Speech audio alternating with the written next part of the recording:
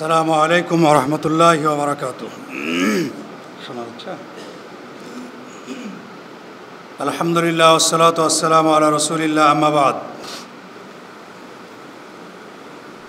যাবতীয় প্রশংসা সে রব্বুল আলমিনের জন্য, যিনি আজকে বাংলাদেশ আহলাদি যুব সংঘ, রাজশাহী বিশ্ববিদ্যালয় ও রাজশাহী কলেজ শাখা কর্তৃক আয়োজিত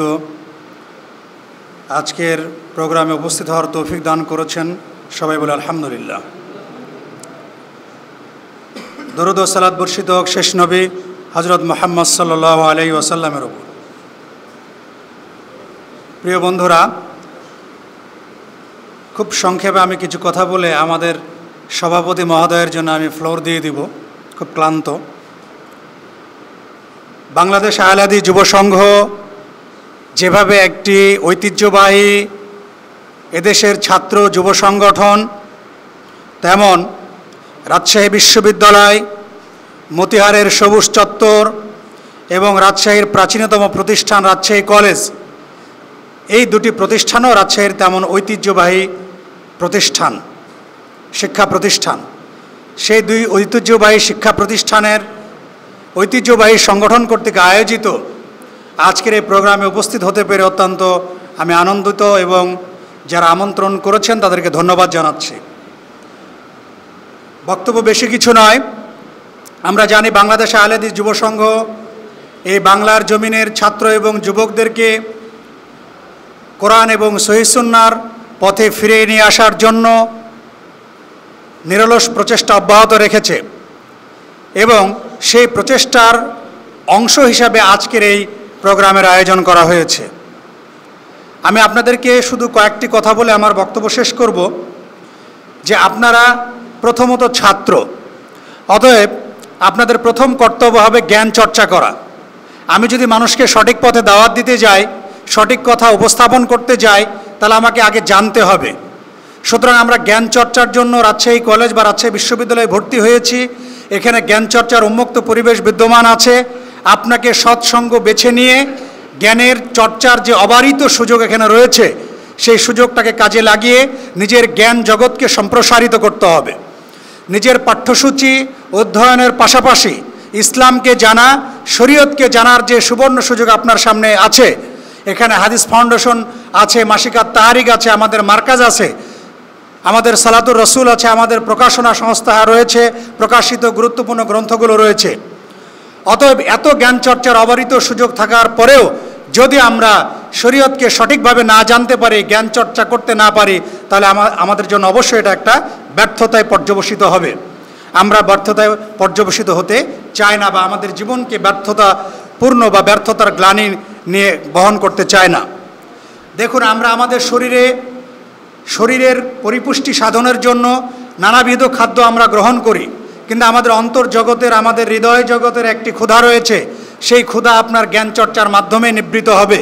সুতরাং ছাত্রদের প্রতি আমি প্রথম যে নসিহত বা উদাত্ত আহ্বান রাখব যে আমরা জ্ঞান চর্চা করি, বিশুদ্ধ ইসলাম চর্চা করি, ইসলামকে জানি এবং মানুষের কাছে সেই সঠিক দাওয়াতটা পৌঁছে দেওয়ার চেষ্টা করি। দুই নম্বর হচ্ছে যে আমাদেরকে সাংগঠনিকভাবে শৃঙ্খলাপূর্ণ জীবনযাপন করতে হবে। পৃথিবীর কোনো কিছুই বিশৃঙ্খল চলছে না সব কিছুই শৃঙ্খল। আমার ছাত্র জীবন, আমার সালাদ আদায়, ইমাম যখন সালাদ আদায় করছেন, তখন তার রুকু সিজদার আগে কিন্তু আমি রুকু সিজদা করছি না। মুমিনের জীবনের প্রত্যেকটি ক্ষেত্রেই শৃঙ্খলা রয়েছে। অতএব শৃঙ্খলাবিহীন বা বিশৃঙ্খল জীবনযাপন অবশ্যই করা যাবে না। শৃঙ্খলাপূর্ণ জীবনযাপন করতে হবে। আল্লাহ রাবুল আলমিন বলছেন যে, ইন্নাল্লাহ ইউহিবুল্লাদিন কাতিলুন ফি সাবিলিহি সফান কান্নাহম বুনিয়ানুম মরসুস। যে নিশ্চয় আল্লাহ তাদেরকে ভালোবাসে যারা আল্লাহর পথে সীসা ঢালা প্রাচীরের ন্যায় কাতারবদ্ধভাবে তারা কি করে? সংগ্রাম করে। সুতরাং আমাদেরকে শৃঙ্খলাপূর্ণ জীবনযাপন করতে হবে। আর এই শৃঙ্খলাটা কোথায় শিখবেন? শৃঙ্খলাটা শেখাবে বাংলাদেশ আহলাদিস যুব সংঘ, যে আমার জীবনের প্রত্যেকটি ক্ষেত্রে আমার চলায়, বসায়, লেখাপড়ায় সকল ক্ষেত্রে শৃঙ্খল, শৃঙ্খলা কীভাবে বজায় রাখতে হয়, কীভাবে শৃঙ্খলাপূর্ণ জীবনযাপন করতে হয়, সেটি বাংলাদেশ আহলাদি যুব সংঘ আপনাদেরকে শিক্ষা দিবে।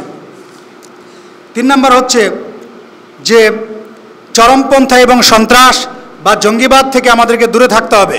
বাংলাদেশ আহলাদি যুব সংঘ এই বাংলার জমিনে সন্ত্রাস, জঙ্গিবাদ, চরমপন্থার মূলোৎপাটনের যে ভূমিকা পালন করেছে, ঐতিহাসিক ভূমিকা, বাংলাদেশে তা কোনো সংগঠন সেই ভূমিকা পালন করেনি বলে আমরা দৃঢ় কণ্ঠে আমরা বলতে পারি। দেখুন এই জন্য আমাদেরকে কার সাথে চলছি, উঠছি, বসছি, সেই সঙ্গ কিন্তু আমাদেরকে খেয়াল করতে হবে। এখানে একটি সংক্ষেপে একটু উক্তি বলছি যে ইবনে মুফলি রহমাউল্লাহ তার আলা আদাব শরিয়া গ্রন্থের শরিয়া গ্রন্থের মধ্যে বলেছেন যে, ওয়াইদা রাইতা শাবাবা আউ্লামা ইয়ানশাউ মা আহলি সুন্নাতি ওয়াল জামাআতে ফারজুহু।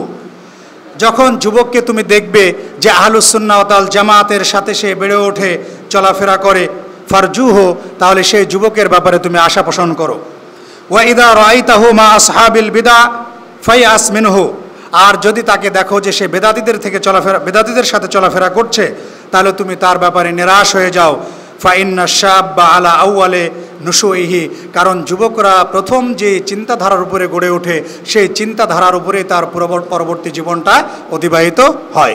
সুতরাং প্রিয় ভাইয়েরা, ছাত্র ভাইয়েরা, আমি আমি কার সাথে মিশছি, কার সাথে চলছি, আমার যৌবন কালটা কোন পথে অতিবাহিত করছি, সেটা কিন্তু খেয়াল করতে হবে। এর উপরে আপনার পরবর্তী জীবন অতিবাহিত হবে এবং পরবর্তী জীবন নির্বাহ করবে। সুতরাং যারা ভালো, যারা কোরআন এবং সহিসুন্নার আলোকে জীবন পরিচালনা করে, তাদের সংসর্গ সংসর্গ লাগাবার চেষ্টা করবেন, তাদের সাহচর্যে থাকার চেষ্টা করবেন। আর সর্বদা জালিসাসু অর্থাৎ অসৎ সঙ্গ থেকে আমাদেরকে দূরে থাকতে হবে। আজকে সমাজে দেখুন বিভিন্ন রকমের ফেতনা। আজকে বিভিন্ন রকমের ভুল চিন্তাধারা আমাদের মধ্যে ছড়ানো হচ্ছে সংগঠনকে প্রশ্নবিদ্ধ করার জন্য। আজকে বলা হচ্ছে যে আহলে হাদিস বলা যাবে না। বলা হচ্ছে কিনা সমাজে?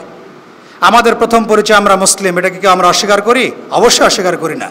কিন্তু আহলুল হাদিস আহলুল সুন্নাতল জামাত, আহলুল আসার, সালাফি, এগুলো হচ্ছে আমাদের বৈশিষ্ট্যমূলক পরিচয়। একজন বলেছেন যে যত পৃথিবীতে যতদিন আহলে বেদাত থাকবে, ততদিন পৃথিবীতে কি থাকবে? আহলুল হাদিস থাকবে। যদি আহলে বেদাত না থাকে, তাহলে আহলে হাদিস পরিচয় দেওয়ার কোনো প্রয়োজন থাকবে না। কেন প্রয়োজন পরিচয় দেওয়ার প্রেক্ষাপট তৈরি হলো সাঁত্রিশ হিজড়ির পরে? সেই প্রেক্ষাপটটা কিন্তু আমাদেরকে বুঝতে হবে। এমনকি বলা হচ্ছে যে আহলুল হাদিস মসজিদের নামও বলা যাবে না। বোখারিতে একটা হাদিস আসছে, কিতাবুস সালাতে, হাদিস নম্বর চারশো বিশ। বাবু হাল ইউকালু মসজিদুবানি ফুলান। বলা হচ্ছে যে অমুকের মসজিদ, এটা বলা যাবে কি? বোখারির হাদিসে আসছে, মসজিদে বানি জোরায়েক বানি জোরায়েক গোত্রের দিকে সম্বন্ধ করে একটি মসজিদের নামকরণ করা হয়েছিল। এই হাদিস থেকে হাফিজ ইবনু হাজার আসকালীন রহমাউল্লাহ একটি মাসালা ইস্তেমবাদ করেছেন। তিনি বলেছেন যে, ওয়াইস্তাফাদু মিনহু জওয়াজু ইজাফাতিল মাসাজিদ ইলা বানিহা আবিল মুসাল্লিফিহা যে, এই হাদিস থেকে একটি ফায়দা লাভ করা যায় সেটি হচ্ছে যে, মসজিদকে নির্মাতার দিকে সম্বন্ধ করা যায় অথবা তার যে মুসল্লি তাদের বৈশিষ্ট্যের দিকে খেয়াল করে মসজিদের নামকরণ করা যায়। এটি হচ্ছে এজাফাতু তামিজ লা মিল্ক। অর্থাৎ এই যে আমরা আলুল হাদিস মসজিদ নাম দিই, এটি হচ্ছে বৈশিষ্ট্যগত নাম। এর মানে এই নয় যে এই মসজিদের মালিক হচ্ছে আহলুল হাদিসরা। কারণ ওয়ান্নাল মাসাজিদ আলিল্লাহ মসজিদ হচ্ছে কি আল্লাহর ঘর। এটি শুধুমাত্র একটি পৃথক বৈশিষ্ট্যমূলক পরিচিতি পেশ করার জন্য এই নামকরণ করা হয়। এর মানে এই নয় যে অন্য কেউ এখানে সালাত আদায় করতে পারবে না। আল্লাহর ঘর সবার জন্য অবারিত, সবাই সেখানে সালাত আদায় করতে পারবে।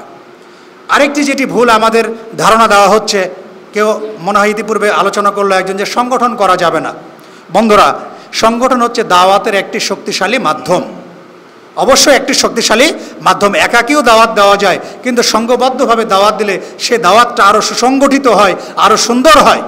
এই জন্য দাওয়াতের এটি- হচ্ছে একটি মাধ্যম, এটি কোনো ফেরকানা বা অন্য কোনো কিছু নয়। এটি আপনাকে বুঝতে হবে।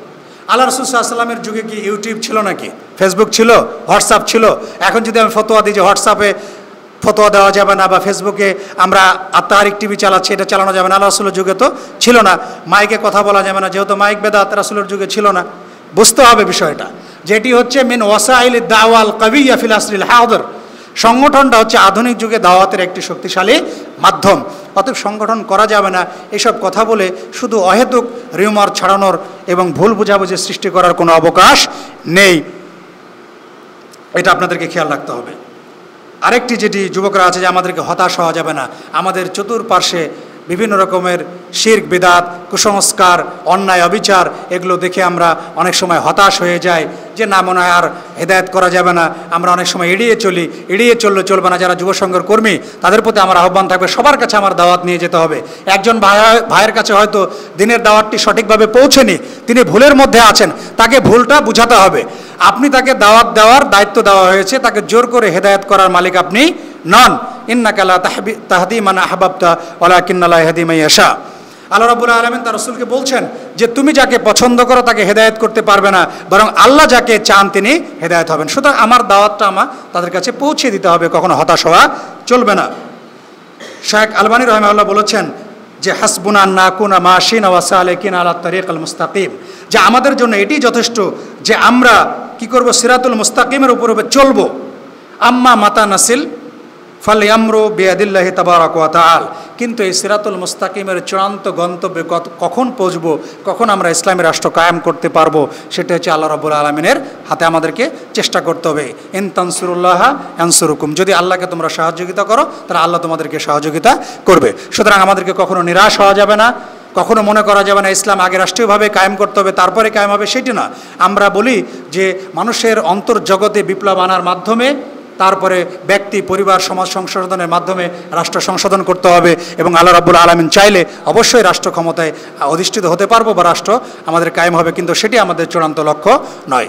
অতএব আমার বক্তব্য আর দীর্ঘায়িত করছি না, আমরা হতাশ হব না, কোনো প্রকার চরমপন্থী বা জঙ্গিবাদী কর্মকাণ্ডে আমরা জড়িয়ে যাব না, মানুষের কাছে সঠিক দাওয়াতটা পৌঁছে দিব।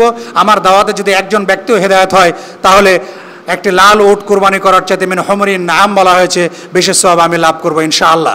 অতএব যুব সংঘের কর্মীদেরকে উদাত্ত আহ্বান জানাব, বাংলাদেশে আহলে হাদিস যুব সংঘ এমন একটি সংগঠন, যে সংগঠন হচ্ছে ছাত্র এবং যুবকদেরকে তৈরি করার সংগঠন। আছে বাংলাদেশ আহলে হাদিস যুব সংঘ আমরা করেছি, আমরা গড়ে উঠেছি যুব সংঘের সভাপতি আহমদ আবদুল্লাহ সাকিব, সে গড়ে উঠেছে আরও অনেক দায়িত্বশীল এখানে রয়েছে। আশা করি ইনশাআল্লাহ বাংলাদেশ আহলে হাদিস যুব সংঘ আপনাদেরকে সঠিক পথে পরিচালিত করবে। কখনো অসৎ পথে বা পথভ্রষ্টতার দিকে কখনো আহ্বান করবেন আল্লাহ রবুল আলমিন আমাদেরকে সঠিক দিন বুঝার এবং সে অনুযায়ী মানার এবং আমল করার তৌফিক দান করুন। সকলের মন আল্লাহ আমিন। ও আখিরুদা আমান আলহামদুলিল্লাহ রবিল আলমিন। সালামু আলাইকুম রহমতুল্লাহি অবরাকাত সালামু আলাইকুম রহমতুল্লাহি ওবরাকাত ইন আলহামদুলিল্লাহি ওয়াহদা ওসালাত ওসালামু আলা মাল্লা নবিয়া বাদা। আম্মা বাদ। ফাউযু বিল্লাহি মিনাশ শাইতানির রাজিম। বিসমিল্লাহির রহমানির রহিম। ইয়া আইয়ুহাল্লাযীনা আমানু কুতিবা আলাইকুমুস সিয়াম কামা কুতিবা আলাল লাযীনা মিন ক্বাবলিকুম লাআল্লাকুম তাত্তাকুন বাংলাদেশ আহলেদেশ যুব সংঘ রাজশাহী বিশ্ববিদ্যালয় এবং রাজশাহী কলেজ শাখা কর্তৃক আয়োজিত আজকের এই ইফতার মাহফিলের সম্মানিত সভাপতি উপস্থিত মাননীয় প্রধান অতিথি, বিশেষ অতিথিবর্গ রাজশাহী বিশ্ববিদ্যালয় এবং রাজশাহী কলেজের প্রাণপ্রিয় ছাত্র ভাইরা এবং আশপাশ থেকে আগত তিনি ভাইরা, প্রশংসা আল্লাহ রবুল্লা আলমিনের জন্য, যার অশেষ রহমতে আজকে আমরা পবিত্র রমজান মাসের ইফতার পূর্ব, এই গুরুত্বপূর্ণ মুহূর্তে পবিত্র কোরআন এবং সৈহাদিস থেকে কিছু আলোচনা করার এবং শোনার তৌফিক লাভ করেছি। যে আল্লাহ রবুল্লা আলমিন আমাদেরকে এই সুযোগ দান করলেন, তার উদ্দেশ্যে আমরা অন্তরের অন্তঃস্থল থেকে শুক্রিয়া আদায় করি বলি আলহামদুলিল্লাহ। দরুদ সালাম বর্ষিত হোক শেষ নবী আহমদ মুস্তফা, মোহাম্মদ মুস্তফা সাল্লাহ আলিয়াল্লামের প্রতি। সুপ্রিয় উপস্থিতি, ইফতারের সময় সমাগত। খুব সংক্ষেপে কয়েকটি কথা বলে আমি আমার বক্তব্য শেষ করব ইনশাআল্লাহ। রমজান মাস আমাদের মাসে, আমাদের মাঝে এসেছিল। ইতিমধ্যে রমজান মাসের প্রায় দুই তৃতীয়াংশ আমাদের মাঝের থেকে চলে গেল। এই রমজান মাস আমাদের সামনে এসেছিল মৌলিক একটা উদ্দেশ্য নিয়ে। সেই উদ্দেশ্যটা কি? যে উদ্দেশ্যটা সুরা আল বাকারার যে আয়াতটি আমি পাঠ করলাম, এই আয়াতটি আপনারা প্রত্যেকেই শুনেছেন। এর শেষ অংশে যেটা বলা হচ্ছে, লা আল্লাকুন তাত্তাকুন, যাতে আমরা আল্লাহ ভীরু হতে পারি। দুই তৃতীয়াংশ সময় চলে গেল। এখন আমরা নিজেরা আত্মবিশ্লেষণ করে দেখি, আত্মসমালোচনা করে দেখি। আসলে আমাদের মধ্যে আত্মভীতি আল্লাহ ভীতি কতটুকু জাগ্রত হলো? আল্লাহকে আমরা কতটুকু ভয় করতে পারছি? ঠিক যেভাবে দিনের বেলা আমরা পানাহার থেকে বিরত থাকতে পারছি আল্লাহর ভয়ে। খাবার গ্রহণ থেকে বিরত থাকতে পারছি। ঠিক একইভাবে যে হারাম কাজগুলো আগে করতাম, যে অন্যায় কাজগুলো আগে করে আসছিলাম, সেই কাজগুলো থেকেও কি আমরা বিরত থাকতে পারছি? যদি বিরত থাকতে পারি, তাহলে এই সিয়াম আমাদের মাঝে সার্থকতা বয়ে আনবে। আর যদি আগের মতোই আমরা আমাদের সেই অন্যায় কাজগুলো করেই যাই, পাপ কাজগুলো করেই যাই, তাহলে শুধুমাত্র এই খানাদানা ত্যাগ করা পানাহার ত্যাগ করার মাধ্যম দিয়ে খুব বেশি কিছু ফায়দা হাসিল হবে না। যারা এখনও পর্যন্ত আমরা সেই তাকুয়া হাসিলের প্রতিযোগিতায় নামতে পারিনি, তাদের জন্য এখনও সময় রয়েছে, সামনে আরও দশটা দিন। রমজান মাসের সবচেয়ে গুরুত্বপূর্ণ দশটা দিন। যে দশটা দিনে রাসুল সাল্লাহ ইসলাম স্পেশালি আলাদাভাবে প্রস্তুতি গ্রহণ করতেন। আয়সা রাজু বলছেন, কানা নবী সাল্লাহ ইসলাম ইয়াস্তাহিদু ফিল ফিল আশিল আওয়াখেরে মালা ইয়াস্তাহিদু ফি গৈরিহি রাসুল সাল্লাহ ইসলাম রমজান মাসের শেষ দশটা দিনে যেভাবে প্রস্তুতি গ্রহণ করতেন, যেভাবে এবাদতে মশগুল থাকতেন, অন্য কোনো সময় তিনি এভাবে এবাদতে মশগুল থাকতেন না। অর্থাৎ রমজানের শেষ দশটা দিন অত্যন্ত গুরুত্বপূর্ণ। রাসুসাল্লাহ ইসলাম আরও বলা হচ্ছে রাসুল্লাহ ইসলাম যখন এই শেষ দশটা দিন আসতো, তিনি তার লুঙ্গিকে বেঁধে নিতেন, অর্থাৎ এবাদতের জন্য আলাদা প্রস্তুতি নিতেন। তারপরে রাত্রি জাগরণ করতেন এবং তার পরিবারকেও তিনি জাগ্রত করাতেন। এবাদতের জন্য তাদেরকে প্রস্তুত হতে বলতেন। সুতরাং আমরা যারা এখনও সেই তাকোয়া অর্জনের সেই অবস্থানে এখনও পর্যন্ত পৌঁছায়নি, তাদের জন্য সামনে দশটা দিন এখনও রয়েছে। এই দশটা দিনে যেন আমরা নিজেদেরকে আবারও নতুন করে ঢেলে সাজাতে পারি, নিজেদেরকে আবারও যেন সেই আল্লাহ রবুল্লা আলমী যে উদ্দেশ্যে আমাদের ওপরে রমজানকে ফরজ করেছিলেন, সিয়ামকে ফরজ করেছিলেন, সেই উদ্দেশ্যে যেন আমরা বাস্তবায়ন করতে পারি। এই রমজান মাসের শেষ দশকের করণীয়গুলো কি সে বিষয়ে ইতিমধ্যে আপনারা আলোচনা শুনেছেন। বেশি বেশি নফল ইবাদতগুলো করতে হবে। সেই সাথে লাইলাতুল কদর, সবচেয়ে গুরুত্বপূর্ণ যে জিনিসটি, লাইলাতুল কদর। রমজান মাসের শেষ দশকের বিজোর দিনগুলোতে আমাদেরকে অনুসন্ধান করতে হবে। যে রাত সম্পর্কে বলা হয়েছে, লাইলাতুল কদরে খৈরুম মিন আলফি সাহার এই একটি রাতের এবাদত তিরাশি বছরের এবাদতের সমপরিমাণ বা তার চেয়ে বেশি উত্তম। অতএব এই রাতের ফজিলত লাভে যেন আমরা প্রত্যেকেই উদ্যোগী হই, প্রত্যেকেই যেন এখন থেকেই প্রস্তুতি গ্রহণ করি। সেই সাথে সাথে এতে কাফ করার যেতে পারে এবং সেই সাথে সাথে আল্লাহ রবুল্লা আলমের কাছে বেশি বেশি তওবা ইস্তেকফারের মাধ্যমে আমরা যেন এই সময়টা কাজে লাগাতে পারি। মোহতারাম আমির জামাত ইতিমধ্যে উপস্থিত হয়েছেন। আমি আর দু একটি কথা বলতে চাচ্ছি। আমাদের যারা যুবক ভাই রয়েছেন, তাদের প্রতি আমরা আহ্বান জানাব, এই রমজান মাসে যেন আমরা নিজেদেরকে নতুন করে ঢেলে সাজাই। এই যে যৌবন আল্লাহ আলমিন আমাদেরকে দান করেছেন, এই যৌবনের প্রতিটা ফোঁটা রক্ত আল্লাহ দেওয়ার এক একটা নেয়ামত। এই নেয়ামতকে যেন তার পথে আমরা ব্যয় করতে পারি। এই উদ্দেশ্যে আমাদের প্রথম করণীয় হচ্ছে, আমরা যেন আমাদের জীবনকে লক্ষ্যপূর্ণ করতে পারি। আমরা যেন কেউ লক্ষ্যহীন জীবন যাপন না করি। আমাদের যুব সমাজের মাঝে যে প্রবণতাটা এখন বিশেষভাবে দেখা যায়, বিশেষ করে আমরা যারা কলেজ বিশ্ববিদ্যালয়ের ছাত্র, আমরা আমাদের জীবনটাকে যেন হেলায় হারানোর একটা প্রতিযোগিতায় নেমে পড়েছি। এই চারটা বছর যেন আমরা মৌজ মাস্তিতে কাটিয়ে দেওয়ার একটা প্রতিযোগিতায় নেমে পড়েছি। এইভাবে আমাদের জীবনটাকে, জীবনের সবচেয়ে গুরুত্বপূর্ণ সময়টাকে যেন আমরা নষ্ট না করি। জীবনের লক্ষ্যটাকে যদি আমাদের, যদি আমরা মনে রাখতে পারি, তাহলে নিঃসন্দেহে আশা করি এই ধরনের অবহেলায় জীবনটাকে নষ্ট করার প্রবণতা আমাদের মধ্যে থেকে কমে যাবে। দুই নম্বর বিষয় হচ্ছে, আমাদের আমাদেরকে সংস্কারপন্থী হবে, হতে হবে, পরিবর্তনকামী হতে হবে। সমাজে যে অন্যায়, অনাচারগুলো চলে আসছে সেই অনাচারগুলো শুধু চলেই যাবে, আমরা শুধু চেয়ে চেয়ে দেখেই যাব, এটা যেন না হয়। সেটা পরিবর্তন করার জন্য একটা মানসিকতা যেন আমাদের মাঝে তৈরি হয়। রাসুসাল্লাহ ইসলাম আল্লাহ রবুল্লা আলমিন বলছেন ইন্দাল্লাহ লাইগাইরু মা বি কওমিন হাত্তা ইউগাইরু মা বি আনফুসিহিম আল্লাহ রবুল্লা আলমিন কোনো কমের মধ্যে পরিবর্তন সাধন করে না ততক্ষণ পর্যন্ত, যতক্ষণ না তারা তাদের নিজেদের মধ্যে পরিবর্তনের বিষয়ে উদ্যোগী না হয়। অতএব আমাদের প্রত্যেকেই পরিবর্তনকামী হতে হবে, সংস্কারকামী হতে হবে। আর যৌবন বয়স হচ্ছে, এই সংস্কারের, এই পরিবর্তনের সবচেয়ে গুরুত্বপূর্ণ সময়। এখন যৌবন যার, যুদ্ধে যাবার তার শ্রেষ্ঠ সময়। অতএব যৌবনের শ্রেষ্ঠ সময়টাকে আসুন আমরা সমাজ সংস্কারের কাজে আত্মনিয়োগ করি। তিন নম্বর বিষয় হচ্ছে, আমরা যেন অতি আবেগী না হয়ে যাই। যুব সমাজের মাঝে আমরা বিশেষ করে যারা নতুন নতুন দিনের পথে এসেছি, তারা অনেক সময় অতি আবেগে অনেক কাজ করে ফেলি। আজকে যে জঙ্গিবাদ দেখা যাচ্ছে এই জঙ্গিবাদের সাথে জড়িত কিন্তু সাধারণত এই যুবক শ্রেণি। জঙ্গিবাদের পিছনে, জঙ্গিবাদে জড়িয়ে পড়ার পিছনে তাদের বড় একটা যে কারণ, একটা হচ্ছে অজ্ঞতা, দ্বিতীয় দ্বিতীয় হচ্ছে অতি আবেগ। অতিমাত্রায় আবেগের কারণে যখনই তারা দেখছে সমাজে কোনো জায়গায় কোনো অনাচার চলছে, ইসলাম অনুযায়ী কোথাও মানে নিয়মকানুন পরিচালিত হচ্ছে না, তখনই তারা যেন নিজেদের মধ্যে একটা আত্মবিদ্রোহে জেগে ওঠেন। তারা মনে করেন, ওই বিদ- মানে অন্যায় কাজটা কেন হচ্ছে? ওটাকে আমাকে পরিবর্তন করতেই হবে, যে কোনো মূল্যে, সেটা বোমা মেরে হোক বা অন্য কোনো কাজ করে হোক। সেটা যে মানে সেটা দূর করার যে ইসলামের একটা পন্থা রয়েছে, সেই পন্থাগুলোর দিকে তারা খেয়াল করেন না, অতি আবেগের কারণে। আমি আপনাদের প্রতি অনু- অনুরোধ করব, দিনের পথে আলহামদুলিল্লাহ আপনারা এগিয়ে এসেছেন, আপনা- আপনাদের মতো আরও যারা এগিয়ে আসতে চাচ্ছে, তাদেরকে এগিয়ে আসার সুযোগ দিন। তাদের উপরে অতিমাত্রায় চড়া হবেন না, অতি প্রতিক্রিয়া দেখাবেন না। তিন চার নম্বর হচ্ছে জ্ঞান অর্জন করা, যে বিষয়টি আমাদের ভাই নুরুল ইসলাম বলেন ইতিমধ্যেই। আমাদের পদভ্রষ্ট হওয়ার সবচেয়ে বড় কারণ হচ্ছে অজ্ঞতা। অজ্ঞতা যদি আমরা দূর করতে পারি, তাহলে নিঃসন্দেহে ইনশাআল্লাহ আল্লাহ আলামিন রহমত এবং ফজিলত, ফজলে ইনশাআল্লাহ আমরা সঠিক পথ পেয়ে যাব। সর্বশেষ কথা হচ্ছে আমরা যে জ্ঞানগুলো অর্জন করছি, সেই জ্ঞানগুলো সমাজের বুকে প্রচার করতে হবে। নিজের মধ্যে রেখে দিলে হবে না। শুধুমাত্র একটি আয়াতও যদি আমরা জেনে থাকি রাসুসাল্লাহ ইসলাম বলছেন, বাল্লিগু আন্নি ওলাও আয়া। আমার পক্ষ থেকে যদি তোমরা একটি আয়াতও জেনে থাকো, সেটা তোমরা মানুষের কাছে প্রচার করো। এই কয়েকটি বিষয় আমরা যেন খেয়াল রাখি, আল্লাহ রবুল্লা আলমিন আমাদের সকল যুবক ভাইকে পবিত্র কোরআন এবং সৈয়াদিসের আলোকে পরিচালিত হওয়ার তৌফিক দান করুন। সেই সাথে সাথে বাংলাদেশে আলহ যুবসংঘ এদেশের বুকে পবিত্র কোরআন এবং সই হাদিসের আলো বিতরণের যে মিশন চালিয়ে যাচ্ছে, এই মিশনে আমাদের সকলকে একত্রিত এবং একতাবদ্ধ হওয়ার তৌফিক দান করুন। আমিন। পরিশেষে আমি আপনাদের সকলকে আন্তরিকভাবে মোবারকবাদ জানিয়ে এবং আয়োজকদেরকে আন্তরিক ধন্যবাদ জানিয়ে আমার বক্তব্য এখানে শেষ করছি।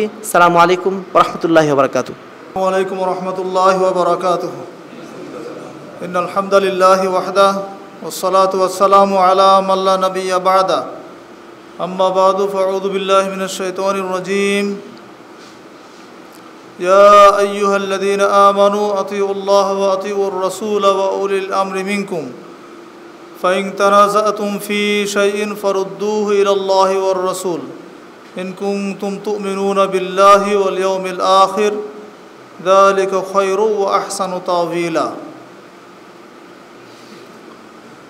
বাংলাদেশ আহলাদিস যুব সংঘ, রাজশাহী বিশ্ববিদ্যালয় ও রাজশাহী কলেজ শাখার উদ্যোগে আয়োজিত আজকের এই আলোচনা সভা ইফতার মাহফিলের সম্মানিত সভাপতি, মাননীয় প্রধান অতিথি আহলাদিস আন্দোলন বাংলাদেশের মোহতারাম আমির জামাত, ধর্ম, সমাজ ও সাহিত্য বিষয়ক গবেষণা পত্রিকা মাসিকা তাহারিকের সম্মানিত প্রতিষ্ঠাতা ও সম্পাদক মণ্ডলীর মাননীয় সভাপতি মোহতারাম আমির জামাত, প্রফেসর ডক্টর মোহাম্মদ আসাদুল্লাহ গালিব, আমন্ত্রিত অতিথিবৃন্দ ওলামাই কারাম, সমবেত সুদী মণ্ডলী। আমি খুবই সংক্ষেপে যে আয়াতটি তেলাওয়াত করেছি আয়াতটির আলোকে দু একটি কথা বলে শেষ করে দেবেন ইনশাআল্লাহ। কারণ আমির জামাত উপস্থিত হয়েছেন, তার মুখ থেকে আমরা গুরুত্বপূর্ণ আলোচনা শ্রবণ করার জন্য সকলে ওদের আগ্রহ অপেক্ষা করছি। আল্লাহ সুবাহনও তালা বলেছেন, হে ইমানদারগণ আতিউল্লাহ আতিউর রসুল উলিল আমরি মিনকুম। তোমরা আনুগত্য করো আল্লাহর, আনুগত্য করো আল্লাহর রসুলের এবং ওয়া উলিল আমরি মিনকুম, তোমাদের মধ্যে যিনি আমির তার। ফাইং তানাজা তুম ফিসাইন ফরুদ্দুহ ইল্লাহ ওয়ার রসুল। যদি তোমাদের মধ্যে কোনো বিষয়ে একতলাফ দেখা দেয় কোনো বিষয়ে মত পার্থক্য দেখা দেয়, তাহলে তোমরা আল্লাহ এবং তার রাসুলের দিকে ফিরে যাবে।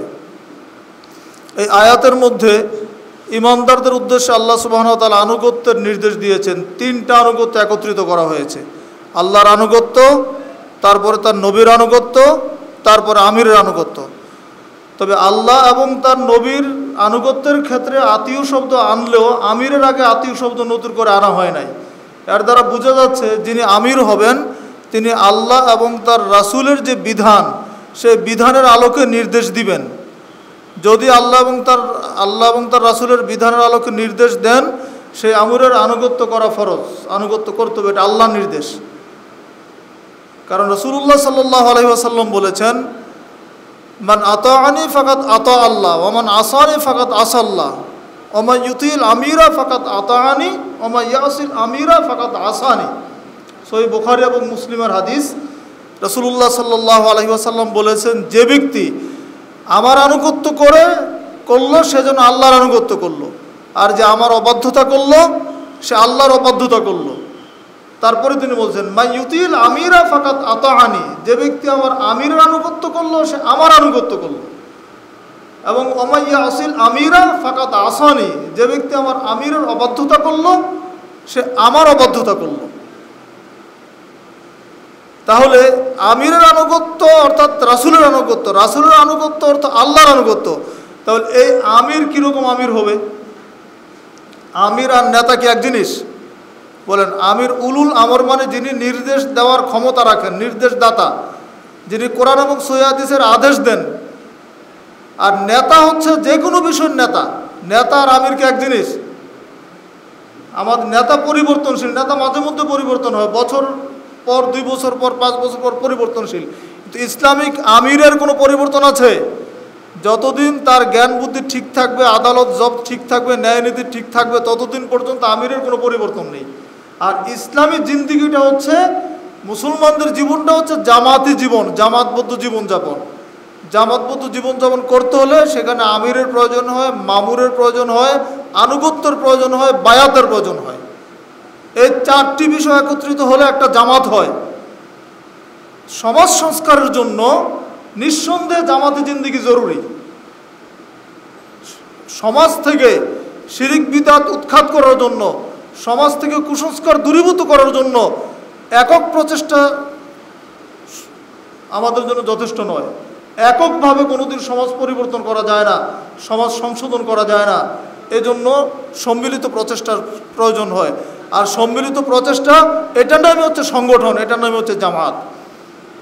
এই জন্য আমরা আপনাদেরকে আহ্বান জানাব, আমরা জামাতবদ্ধ জীবনযাপন করার চেষ্টা করব।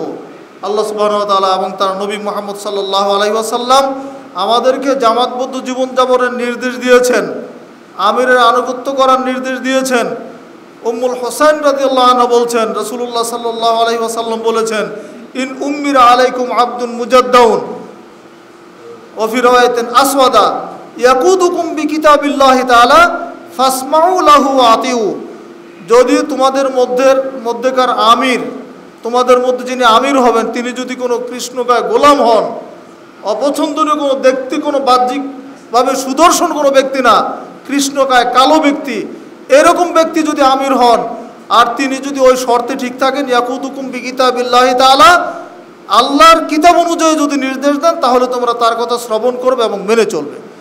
অতএব আসুন আমরা সমাজ সংস্কারের জন্য জামাতবদ্ধ জীবনযাপন করি। হকের পক্ষে ঐক্যবদ্ধ শক্তি হচ্ছে সংগঠন। আজকে সবারই সংগঠন আছে, ঐক্যবদ্ধ শক্তি আছে। সমাজের বিভিন্ন পেশার, বিভিন্ন পর্যায়ে যারা আছেন, তারা কিন্তু ঐক্যবদ্ধ। যারা শ্রমিক, তারা ঐক্যবদ্ধ। যারা কর্মচারী, তারা ঐক্যবদ্ধ।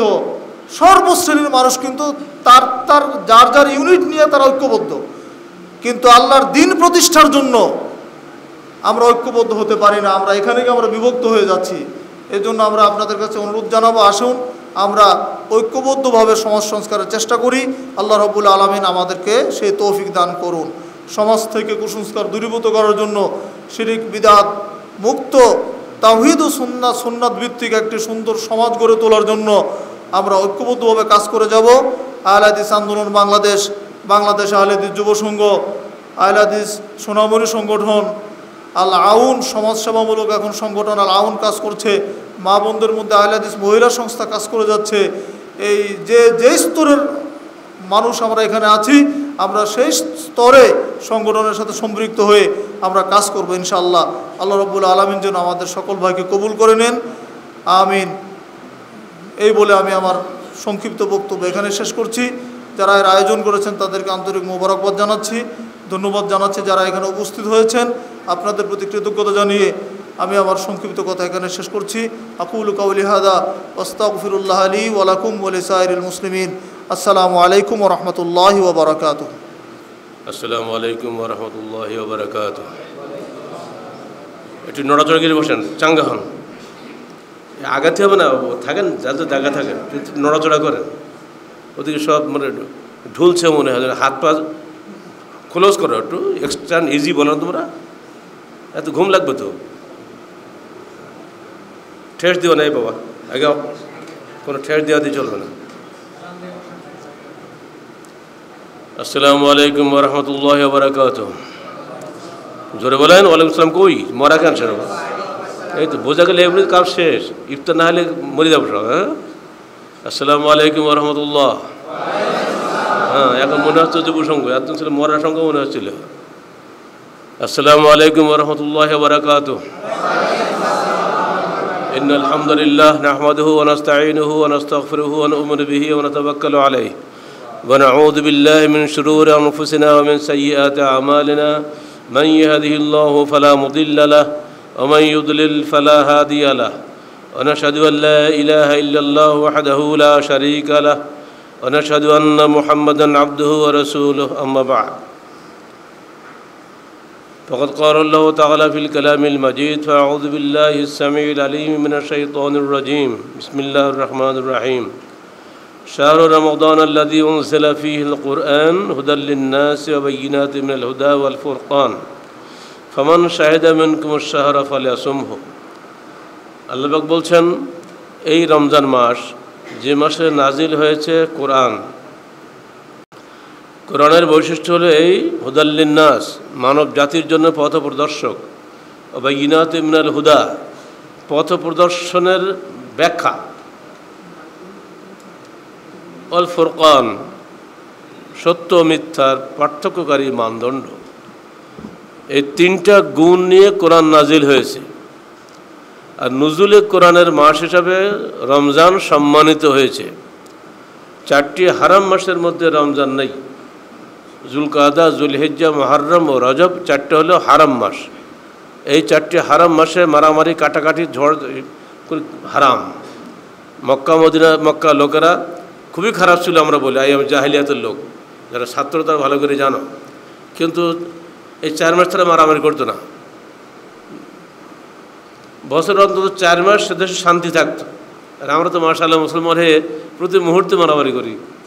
রমজান মাসেও মানুষ কোনো হয়। এই চার মাসের বাইরে এলো রমজান মাস। এটা এক্সট্রা আর একটি মাস। এই মাস সম্মানিত হয়েছে নজরুলি কোরআনের জন্য। এই মাসের প্রতিটি ইবাদত দশ গুণ থেকে সাতশো গুণ নাকি বেশি পাওয়া যায়। এটা কিন্তু অন্য মাসে নাই। জুলকাদা, জুলহেজ্জা, মহরম বা রজব মাসে আপনি একটা নেকির কাজ করলে দশটা পান। আর রমজান মাসে একটা নেকির কাজ করলে আপনি দশ থেকে সত্তর গুণ পাবেন। এমনকি আল্লাহ পাক নিজে হাতে আপনাকে পুরস্কার দেবেন সাতশো গুণের ঊর্ধ্বে। এটা রমজানেরই একমাত্র বিশেষত্ব। আর কারণটা কি? এই মাসে আল্লাহ পাক পৃথিবীর সর্বশ্রেষ্ঠ গ্রন্থ কোরআন নাজিল করার জন্য বেছে নিয়েছেন এই মাসটাকে। অতএব ফমান শাহেদ এবং কুমর শাহরা ফলে সমূহ যে ব্যক্তি এই মাস পাবে, সে যেন সিয়াম রাখে। কোরআন কী শিখায়? কোরআনের গুরুত্ব কেন? এই যে আমার মানুষগুলো বসে আছে। যেমনি চলো, তেমনি চলে, পুতুলের কি দোষ? এই দলের লোক সংখ্যা বেশি। রেওয়াজ যা চলছে, তাই চলবে। তুমি ঝামেলা করো কেন? চলছে তো ভালোই। স্বামী মরে গেছে, নারী বিধবা হয়ে গেল। অতএব ওই স্ত্রী আর কোথাও বিবাহ করতে পারবেন না। সুতরাং তার বেঁচে থেকে লাভ কী? স্বামীর জ্বলন্ত চিতায় ওই জীবন্ত বিধবা স্ত্রীকে নিক্ষেপ করে, উলুধ্বনি করে তাকে স্বর্গে পাঠানোর ব্যবস্থা এদেশের ধর্মনেতারা করেছিল। এটাই ছিল ট্র্যাডিশন এদেশের মানুষ এটাকে ধর্ম মনে করে নিয়ে বাবা নিজের মেয়েকে, কলেজার টুকরা সন্তানকে দিয়ে দিয়েছে অগ্নির চিতায় এখনও পর্যন্ত মানুষ, এমনকি ভারতের প্রধানমন্ত্রী পর্যন্ত, টেলিভিশনে আমি নিজে দেখেছি, তার মা ইন্দিরা গান্ধী যখন মারা গেলেন, রাজীব গান্ধী যেহেতু বড় ছেলে ওদের ধর্মে নাকি আসে বড় ছেলেরই দায়িত্ব হচ্ছে মায়ের মুখে আগুন দেওয়া, তারপরে চিতায় আগুন দেওয়া। কোনো সন্তান মায়ের মুখে আগুন দিতে পারে তাও মৃত মায়ের মুখে, এটা কি কল্পনা করা যায় নাকি?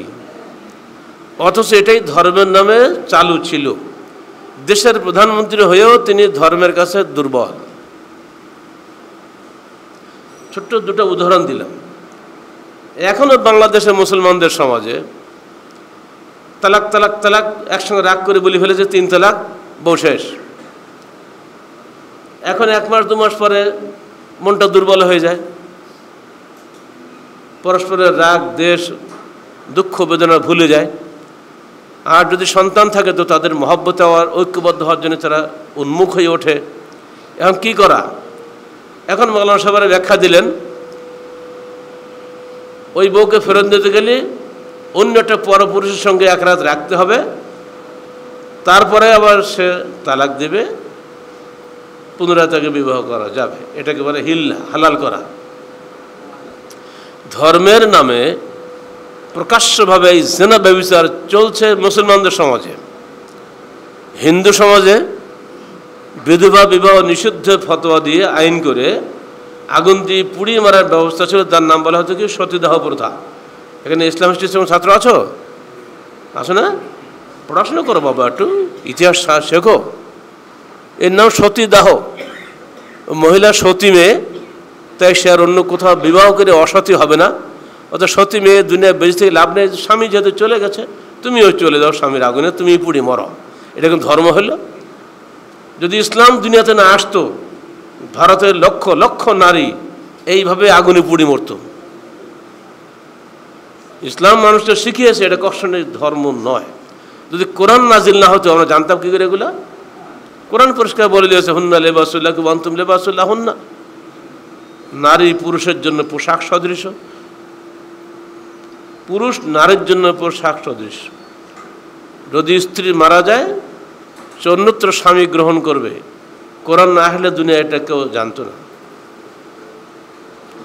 আর ছেলে মায়ের মরা মায়ের মুখে আগুন দেবে, কোরআন বলছে না, অসম্ভব। কোরআনের ব্যাখ্যা হাদিসে বলা হচ্ছে, মায়ের পায়ের নিচে সন্তানের জান্নাত। আগুন দিবা তুমি মানে? সারা জীবন ওই মা যতদিন বেঁচে থাকবে, ততদিন মায়ের সেবা করা হলো সন্তানের সবচেয়ে বড় দায়িত্ব। যে ব্যক্তি রমজানের মাস পেল, এই হাদিসটা শুনে থাকে ভালো করে। আল্লাহ রসুল একদিন মেম্বারে উঠছেন মানে জুমার খোদ্া দেওয়ার জন্য। প্রথম ধাপ উঠলেন বলেন আমিন। দ্বিতীয় ধাপ উঠলেন, আমিন। তৃতীয় ধাপে উঠলেন, আমিন। খোদবা শেষ হয়ে গেল। সাহাবাকরাম জিজ্ঞেস করলেন, হে আল্লাহ রসুল, আপনি আজকে এটা কেন করলেন? এই যে মাথা নিচু কার দেওয়া হতো এই পিছে মাথা নিচু কেন? ঘুম লাগছে? একদম আমাদের তাকাই থাকা লাগবে। ডানিবে তাকালে একদম চোখ বন্ধ করে দিতে হবে। আর না ঘুমোতে হবে। হে আল্লাহ রসুল আপনি আমিন তিনবার বললেন কেন? বললেন, হ্যাঁ শুনে রাখো। প্রথমবার আমিন বললাম এই জন্য যে জিব্রিল আমার কাছে এসে বলল হে মোহাম্মদ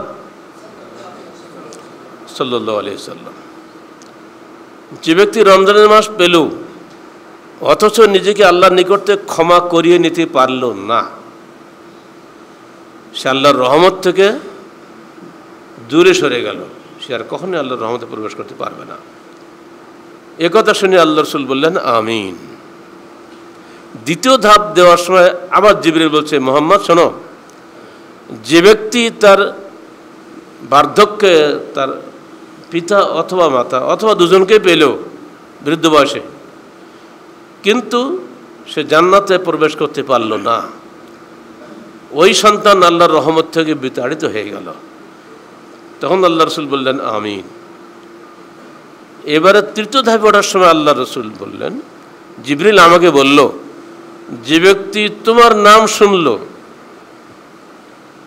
অথচ সে তোমার উপরে দরুদ পাঠ করল না। সে ব্যক্তিও আল্লাহর রহমত থেকে বঞ্চিত হয়ে গেল। এবার কিন্তু আল্লাহ রসুল বলছেন, না, চুপ হয়ে গেলেন তখন জিবরিল বলল, তুমি বলো, আমিন। এবার তিনি বললেন, আমিন। তিনটা জিনিস একসঙ্গে চলে আসলো। প্রথম হলো, এই যে রমজান মাস আমরা পেয়েছি। ফালাম শাহেদ এমন কুমুর শাহরা, ফলে অসম্ভব যে ব্যক্তি রমজান মাস পেলেও সেজন্য রমজান মাসে সিয়াম রাখে। রমজান পেয়েছি, কিন্তু আমরা নিজেকে আল্লাহর নিকটতে ক্ষমা প্রাপ্ত করতে পারি নাই। অলিল্লাহ অত কামিনান্নার ওদালেকা কুল্লা প্রতি রাত্রিতে আমাদের মধ্যে বহু জাহান্নামের অধিবাসী মানুষকে আল্লাহ পাক নাজাদ দিয়ে থাকেন রমজান মাসে। আমাদের দায়িত্ব যে কোনো মূল্যে আল্লাহর কাছে নিজেকে জাহান্নাম থেকে মুক্ত জান্নাতি বান্দা হিসেবে পরিণত করার জন্য সাধ্যমতো চেষ্টা করা, ইবাদত করা নিজেকে সংস্কৃত করা, নিজের ভিতরে যতগুলো ত্রুটি আছে রমজানের আগে ছিল, ওগুলো এখন যেন আর না থাকে, এগুলো থেকে নিজেকে পরিচ্ছন্ন করা, এগুলো করার মাধ্যমে আল্লাহর কাছে চাইতে আল্লাহ, আমি তোমার ভয়ে তোমার বিধান মেনে চলেছি, আর যেন ভবিষ্যতে পদস্খলিত না হয় তুমি আমাকে সেই তৌফিক দাও এবং আমার গোনা খাতা মাফ করো। এইভাবে যদি আমরা বারবার কাঁদি আল্লাহ কাছে, প্রতি রাত্রিতেই আল্লাহ পাক যাদেরকে মুক্ত দা, মুক্ত করেন হয়তো আমরা তাদের মধ্যে অন্তর্ভুক্ত হয়ে যেতে পারি। ইয়া বাগ ইয়াল খায়রে আকবেল ইয়া বাগ ইয়া সারে আকসের। প্রতি রাত্রিতেই ফেরেস্তারা এসে ডাকেন, হে কল্যাণের অভিযাত্রীরা, এগিয়ে চলো। হে অকল্যাণের অভিসারী, থেমে যাও। আর সামনে যেও না। তুমি দুষ্ট লোক, মন্দ লোক, তুমি সমাজের ক্ষতিকরই তোমার দ্বারা আস এই ক্ষতিকর কাজ যেন আর না হয়, সেজন্য তুমি থেমে যাও। আর এই কারণে এই সময় জাহান্নামের দরজা বন্ধ থাকে, জান্নাতের দরজা খোলা থাকে। এই সময় দুনিয়া থেকে এত নেকি আল্লাহ পাকের কাছে উঠে যে জান্নাতের দরজা সবসময় খোলাই রাখতে অলয় নেকি উঠতেই থাকে। এই যে আমরা সারাদিন শ্যাম অবস্থা আমরা আছি না? অন্ধকারেও তো আমরা বাথরুমে যেয়ে এক গ্লাস পানি পান করি নাই। আল্লাহর ভয়, ঠিক না? ঠিক এমনি করে যদি আমরা আল্লাহর ভয়ে ঘুষ না খাই, চাঁদাবাজি না করি, মানুষকে কষ্ট না দেই, মনের কষ্ট, দেহের কষ্ট, সব ধরনের অন্যায় কাজ থেকে নিজেকে যদি বিরত রাখি, কেন? আল্লাহর ভয়ে। তাহলে আল্লাহ পাক মহব্বত করে খুশি হয়ে আমাদেরকে ক্ষমা করে দিবেন। শুধু না, তিনি আমাদেরকে সর্বোত্তম যাজা দিয়ে ভূষিত করবেন, সেই যাজা পাওয়ার জন্যই আমাদেরকে সেই আকাঙ্ক্ষা নিয়ে সিয়াম রাখতে হয়। এ বিষয়ের ব্যাখ্যা হচ্ছে ওমান সায়ামা রমদানা ইমানা ওয়াহাতে সাহেবান গফর আলহমা তাকদ্দামিন জাম্বি। দুটি শর্ত। যে ব্যক্তি রমজানের সিয়াম পালন করে ইমানের সঙ্গে এবং সবের আকাঙ্ক্ষা নিয়ে তার বিগত সমস্ত গুণা মাফ করে দেওয়া হবে। ভাষাটা হচ্ছে এই, দুটো শর্তকে মনে রাখবেন। ইমান এবং ইহতিসাব। অমুসলিমদের উপবাসে কি ইমান আছে? কথা বলেন, ইমান আছে? তিনি অমুসলিম। ইহুদি, বৌদ্ধ, খ্রিস্টান, কনফুসিয়াস, কত রকম দুশো উনষাটটি ধর্ম আছে পৃথিবীতে। ইসলাম ছাড়া যত ধর্ম আছে, উপরওয়ালাকে স্বীকার করে সবাই, ঈশ্বরকে মানে গডকে মানে কিন্তু আল্লাহকে যে সেন্সে আমরা মানি, সেই সেন্সে কি তারা মানে নাকি? আল্লাহ আমার জীবনদাতা, মৃত্যুদাতা, রুজিদাতা, আরোগ্যদাতা এগুলো তারা কিন্তু মানে নাকি? মানে না? এজন্য মুসলমানদের সিয়াম আর অন্যদের উপবাস কখনোই এক নয়। আর আমাদের একটা নিয়ম আছে, ফজরের শুভেচ্ছাদের পরে সাহারি করতে হয়, সূর্যাস্তের সঙ্গে সঙ্গে ইফতার করতে হয়, তাদের কি সেই নিয়ম আছে নাকি? তারা তো সেহরিও করে না। ইহুদিন আসারদের সিয়ামের সাহারি নাই। এমনকি আগে তো ইফতারও ছিল না, যতক্ষণ পারো ততক্ষণ থাকো। এ কি সম্ভব? মুসলমানদের সব কাজে একটা নিয়ম শৃঙ্খলা আছে। সুনিয়ন্ত্রিত জীবন আমাদের। সূর্য অস্ত গিয়েছে বা সঙ্গে সঙ্গে ইফতার। তিন মিনিট দেরি কর, পাঁচ মিনিট দেরি কর, দেখি ভালো ডুবলো কি না। ছোটোবেলা আমরা দেখতাম, এই হাতের পশম দেখা যায় কিনা ভালো দেখো। এই বাড়ির বুড়িরা, এই দেখতো হাতের প্রথম দেখা যায় কি? পশম যখন দেখা যাবে, ততক্ষণ ওই ইফতার দেবে না। ছেলেমেয়ে যতই কান্নাকাটি করবে ইফতার দেবে না তো? অন্ধকার হওয়া লাগবে। ঠিক অন্ধকারে ফজরের সময় একই অবস্থা। যাই হোক, মুসলমানদের সিয়ামের মৌলিক বিষয় হচ্ছে দুটা।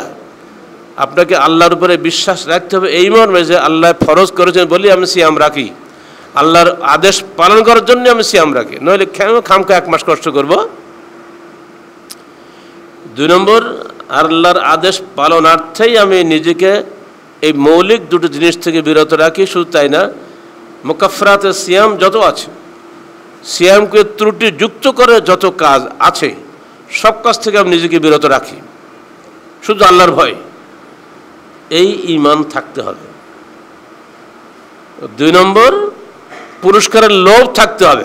তোমরা যারা ছাত্র এখানে আছো, পরীক্ষা পাশ করার লোভ তোমাদের নাই? এবার এমন ছাত্রকে পাওয়া যাবে, আমি পরীক্ষায় ফেল করব অতে ভালো করে লেখাপড়া করিব? আছে কেউ এরকম? পাগলের বলবে না। পাশ করার লোভেই সে কিন্তু পড়াশোনা করে।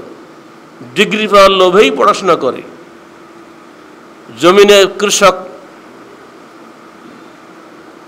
বীজ বপন করে, চারা রোপণ করে, ফল পাওয়ার আশাই তো করে। ওই আকাঙ্ক্ষা যদি না থাকতো তাহলে কেউ করতো নাকি? ঠিক অমনি করে আপনি আমি শ্যাম রেখেছি। আপনাকে অবশ্যই আল্লাহর নিকট থেকে পুরস্কারের লোভ থাকতে হবে যার মধ্যে এই পুরস্কার পাওয়ার আকাঙ্ক্ষা নাই, তার শ্যাম নাই।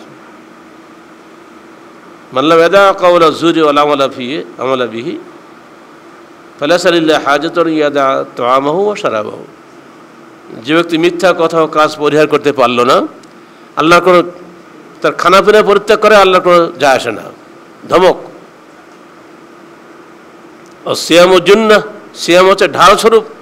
যাবতীয় অন্য অপকর্ম তার ঢাল স্বরূপ সিয়াম আমাকে বাঁচায়।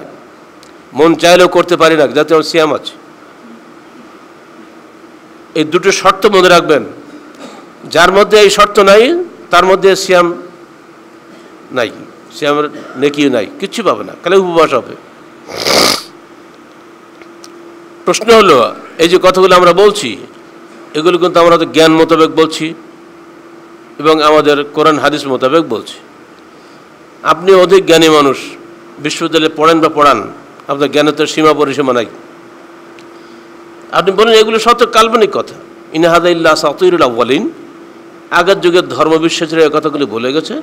এই যুগের ধর্মবিশ্বাসীরা সে কথাগুলি বলে, ধর্ম মানুষের তৈরি করা, আল্লাহ মানুষের তৈরি করা, এগুলো কিছু নাই।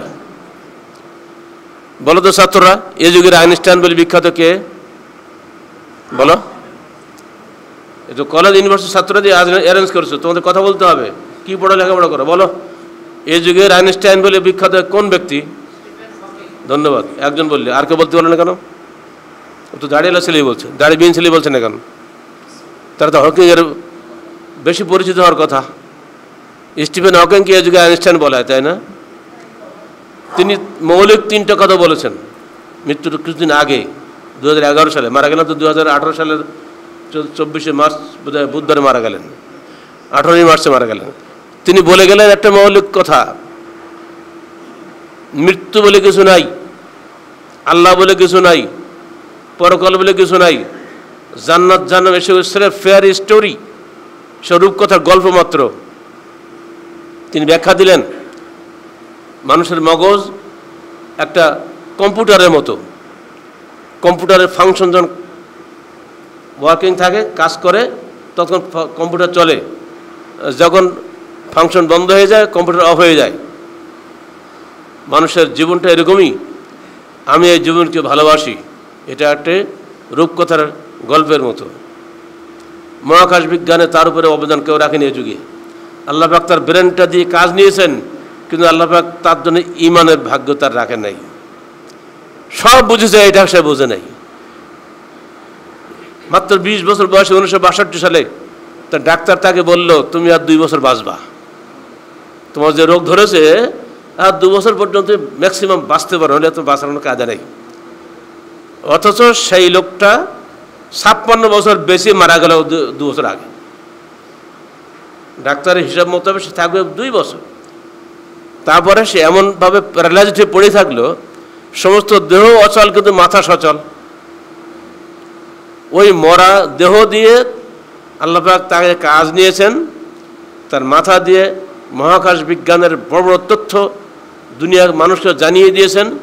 ইচ্ছা করলে আল্লাহ একটা সুস্থ মানুষকে দিয়ে বাসায় করে নিতে পারতেন। ওকে দিয়ে কেন করালেন? আল্লাহ দেখিয়ে দিচ্ছেন, দুনিয়ার মানুষকে দেখো মানুষ, তুমি আমার হাতে বন্দি, তোমার কোনো ক্ষমতা নাই। তুমি যতই হইচই করো, তোমার যে কোনো ক্ষমতা নেই তা প্রমাণ হলো স্পিকিং হকিন্স সে তার নিজের দেহকে নাড়াতে পারে না। তার দেহ আল্লাহর হুকুমে পড়ে আছে। শক্তি নিঃশেষ হয়ে গেছে। বিশ বছর থেকে সে নিশ্চল একটা দেহ। অথচ তার ব্রেন সক্রিয়। কে তাকে ব্রেন সক্রিয় করল, দেহকে নিষ্ক্রিয় করল, দুনিয়ার মানুষ যেন এই বিষয়ে চিন্তা করে। আর এই জন্য ওই ওই মরা লোকটাকে দিয়ে আমি দুনিয়ার কাজ নিয়েছি। অথচ যাকে আইনস্টাইন বলা হচ্ছে সে আইনস্টাইন কিন্তু হকিংয়ের মতো ছিলেন না। তিনি পরিষ্কার বলে গেছেন religion without science is lame R science without religion is বলো ব্লাইন্ড হকিং তো তা বলেনি। তাকে এই যুগের আইনস্টাইন কেন বলা হচ্ছে? আইনস্টাইনের যে মহাকাশ বিজ্ঞানের উপরে যে অবদান ছিল, হকিংয়ের অবদান ওইরকমই। ওই সাইডে কিন্তু বিশ্বাসের সাইডে আইনস্টাইন তার চেয়ে অত্যন্ত উন্নত মানের মানুষ ছিলেন। তিনি বলেছেন, ধর্ম ছাড়া বিজ্ঞান অচল আর বিজ্ঞান ছাড়া ধর্ম অন্ধ। এজন্য যারা অতি ধার্মিক হয়, দেখবেন বিজ্ঞানটাকে ধারে কাছে যায়টা না এরা অন্ধের মতো আচরণ করে। এখন যারা চরমপন্থী, তোমাদের মধ্যে হয়েছে জঙ্গিবাদী হয়ে গেছে না, এরা অন্ধের মতো আচরণ করে। এদের সম্পর্কে হাদিসে বলে আল খাওয়ার হুম কিলাবুন্নার খারেজিরা হলো জাহান্নামের কুকুর। কুকুর কিছু পেলে খালি খাওয়ার চেষ্টা করে। কুকুর তার বিরোধী পক্ষকে হামলা করার চেষ্টা করে। কুকুর মানে ঠান্ডায় বসে থাকে না। সবসময় কী করে তার প্রতিপক্ষকে খতম করে সেই চেষ্টা থাকে। এই জঙ্গিবাদীরাও ঠিক একইভাবে অন্য মুসলমানকে মারার তালে থাকে। কোন কবিরা গোনা করেছে। মিথ্যা পথে বলা কবিরা গোনা না। এমন কোনো মানুষ এখানে আছে জীবনী মিথ্যা কথা বলা নেই মিথ্যা বললি কবিরা গোনা, আর কবিরা গোনা হইল কাফের, রক্ত হালাল, মারো। তাদের বক্তব্য হলো যদি দুর্গন্ধ দুনিয়ায় না থাকে, মাসিও থাকবে না। অত দুর্গন্ধ হটাও, মাসিও এমনি চলে যাবে। এই থিওরি নিয়ে যারা কাজ করছে, তারা ধর্মের ব্যাপারে অন্ধ, তারা ধর্ম বোঝে না। আল্লাহ নবীর সামনে কি মোনাফেক ছিল না? কি কথা বলো? মোনাফেক ছিল? বলো তো মোনাফেকদের লিডার কে ছিল? কিছু শেখো বাবা তোমরা। আল্লাহ নবীর জমানায় মোনাফেকদের হেড কে ছিল? তার নাম কি আবদুল্লাহ? আবদুল্লাহ না? আব্দুল ইবনু বাটা সবাই জানে, কিন্তু আসল নাম যে আব্দুল ওটা কেউ জানে না। ইবনি ফজলের নাম যে আবদুল্লাহ কেউ খবর রাখে খালি ইবনি ফজল বলে সবাই। ফজল সাহেব ফজল সাহেব। বললে আমরা? এখন তো তোমরা ভুলে গেছো, তো আমাদের বয়সে তার তার ফজল সাহেব চিনি? ইবনি ফজল সাহেব রাজশাহীতে আসলে মানুষ আর ঘরে থাকে না। অদ্বিতীয় অপ্রতিদ্বন্দ্বী বক্তা বাংলার ইতিহাসে। তার তুলনীয় কোনো বক্তা আজও সৃষ্টি হয়নি, আমাদের জীবন তো হলোই না আগে জীবন হবে কিনা সন্দেহ। যিনি মগরেব থেকে ফজর পর্যন্ত শীতকালে এগারো ঘন্টায় একটানে বক্তব্য রাখে, মাঝখানে কোনো চা খাতেও বসে না। এরকম মানুষের জন্ম হবে নাকি? এই সেই মানুষ আর রাজশাহী সাহেব বাজারে, আমাদের রানীবাজারের মসজিদে। এলেন, গ্যাস থেকে পেট ফুলে মারা গেলেন রাত তিনটের সময়। হাসপাতাল নিয়ে গেল, তার ই করা কিছু- করে না? হাসপাতাল কী করে? আরে বাবা, বলো না কেন? কী করে সবাই হাসপাতালে ডাক্তার সাহেব বুঝার জন্য। পোস্টমর্টম করে। তোমাদের সে ডাক্তারই সনদ বাতিল করে দেওয়া লাগবে, দেখতে পাচ্ছে। পোস্টমর্টম করে। ডাক্তার সাহেব বাপ রে বাপ, এত আলেম গায়ে অস্ত্র দেবে না, যাও, এমনি চলে যাও। এই সম্মানের মর্যাদা আল্লাহ পাক দিয়েছিলেন। এই ইবনি ফজল সাহেব, কথা বুঝলে কিন্তু হলে কি হবে? ছেলেদেরকে ধর্ম শেখায় নাই, যার জন্য চরমপন্থী জঙ্গিবাদী মরল তারা, দুই ছেলে ফাঁসিতে ঝুলল। খবরদার দিন যারা শিখে, তারা কখনোই চরমপন্থী হয় না শৈথল্যবাদী হয় না। দিনের অশিক্ষার কারণেই আজকে এদেশে জঙ্গিবাদে জন্ম হয়েছে শৈথল্যবাদে জন্ম হয়েছে।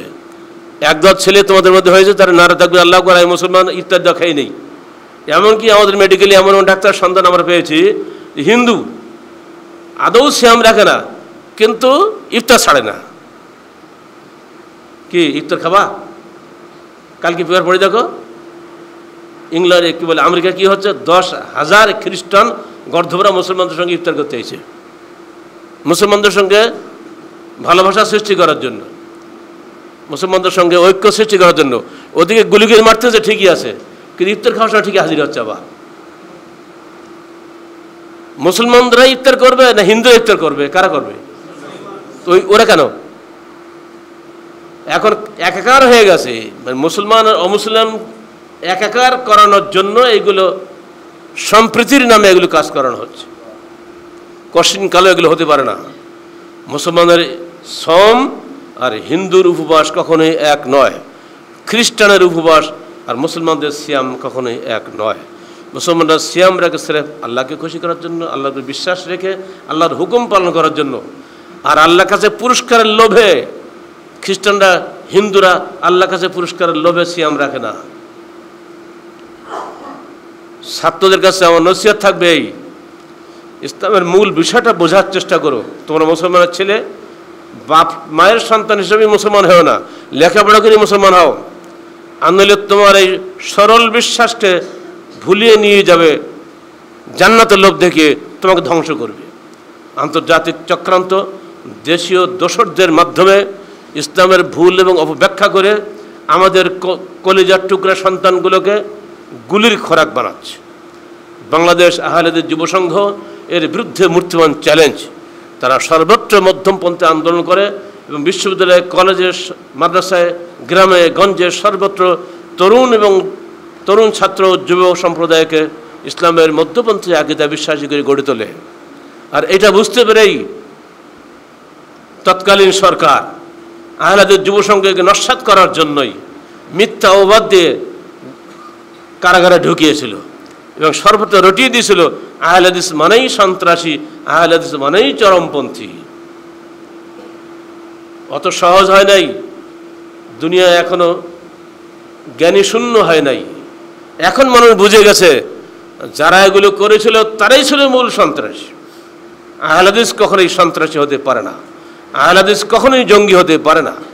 প্রকৃত আহলাদিস সে প্রকৃত মুসলিম প্রকৃত মুসলিম কখনোই ইহুদিন আসারা চক্রান্তে গা ভাসিয়ে দিতে পারে না। ওই যে সেদিন নিউজিল্যান্ডের হামলাটা করল, কে করল? মুসলমান করেছিল? বলো, সে কে ছিল? বলো, খ্রিস্টান ছিল না? কিন্তু আন্তর্জাতিক মিডিয়া তাকে খ্রিস্টান সন্ত্রাসী বলে নাই। তাকে খ্রিস্টান জঙ্গি বলে নাই, বলেছে? কেউ বলে নাই। ওই যে হিন্দুস্তানে মানে ভারতে প্রতিদিন মুসলমানদের রক্ত গোসল করছে ওরা। গরু খেয়েছে এই অপবাদে, এই হুজুগে আখলাককে হত্যা করল। দেখা গেল তো বাড়িতে গরু গোস্ত হয় নাই? গণতন্ত্রের নাম করে মানুষের আকিদা আমলের উপরে এমনি যারা হস্তক্ষেপ করে, মানুষের বাক স্বাধীনতা হরণ করে, ধর্মীয় স্বাধীনতা হরণ করে, তারা নেই পৃথিবীর শ্রেষ্ঠ গণতন্ত্রের দেশ। এই লোকটা যারা মারলো, তারা কিন্তু দল বেঁধে মারিয়েছে একজন মানুষকে। কেউ তাদেরকে হিন্দু জঙ্গি বলে নাই, খ্রিস্টান জঙ্গি বলে নাই ইহুদিরা প্রতিদিন ফিলিস্তিনের মুসলমানদের হত্যা করছে না? কেউ তাদেরকে ইহুদি জঙ্গি বলছে না।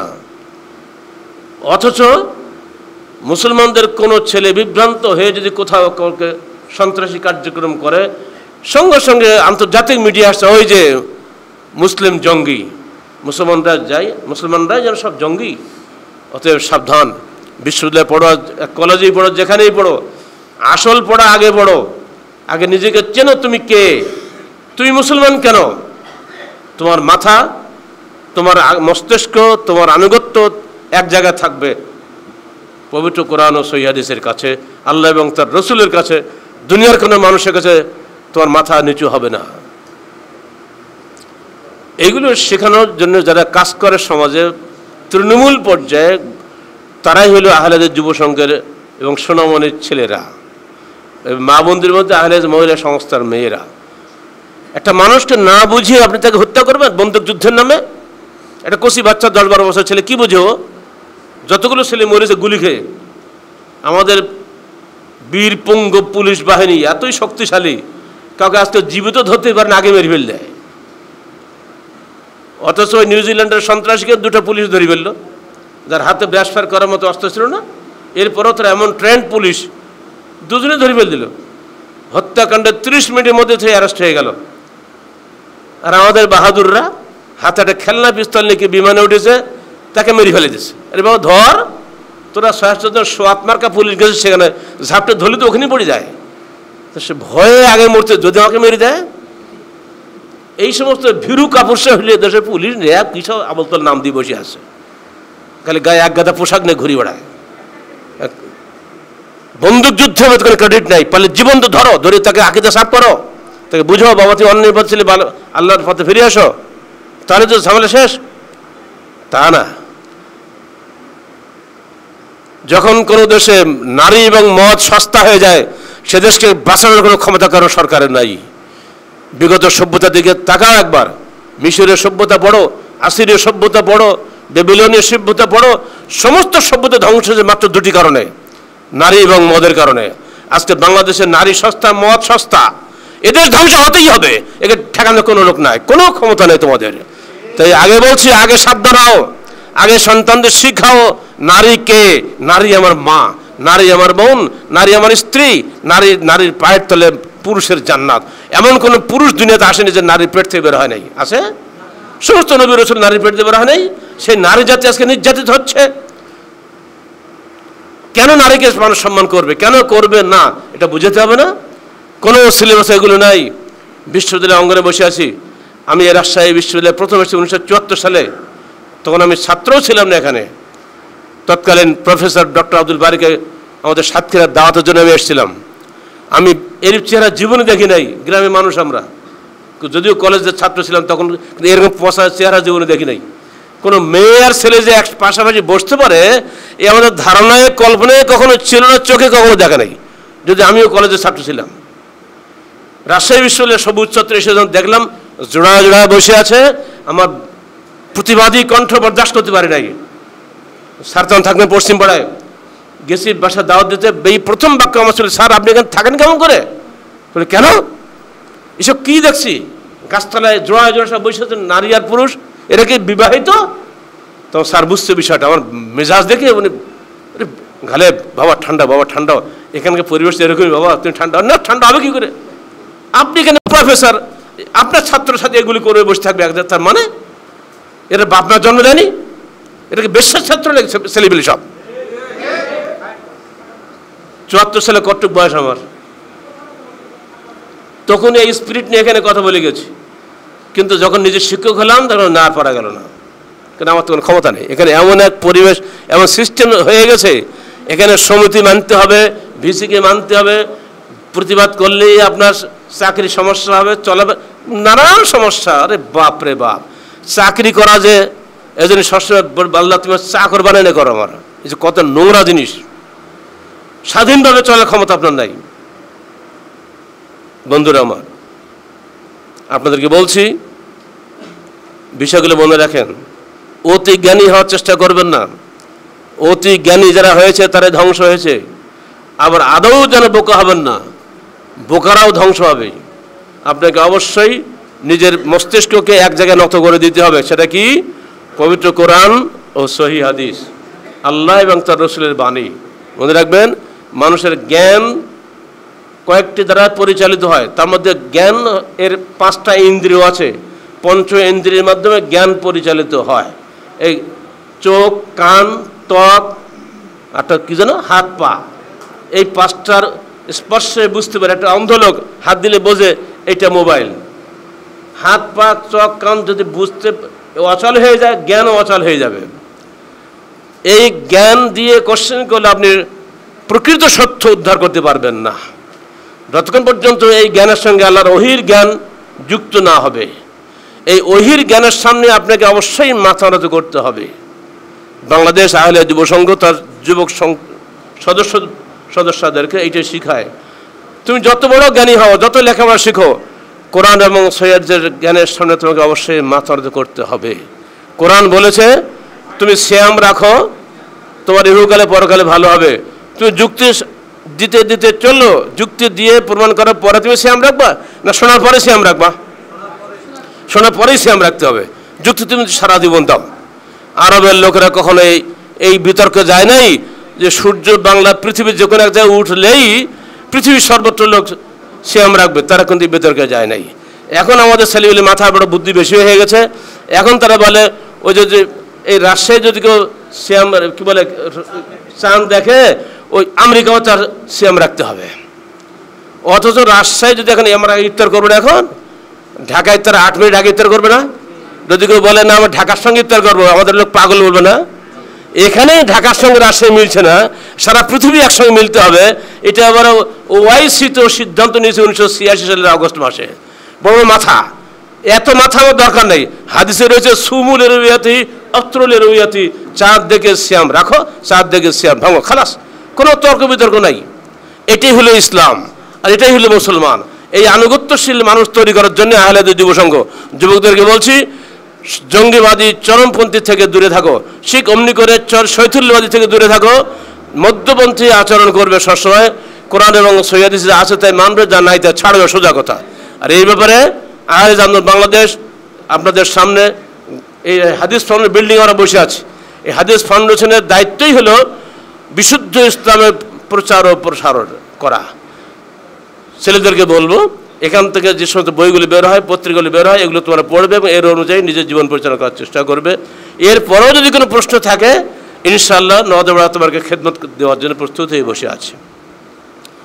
পরিশেষে আজকে আহলাদি যুব সংঘ রাজশাহী বিশ্ববিদ্যালয়ের শাখা এবং রাজশাহী সরকারি কলেজ শাখার দায়িত্বশীল ভাইদেরকে আন্তরিক মোবারকবাদ জানাচ্ছি।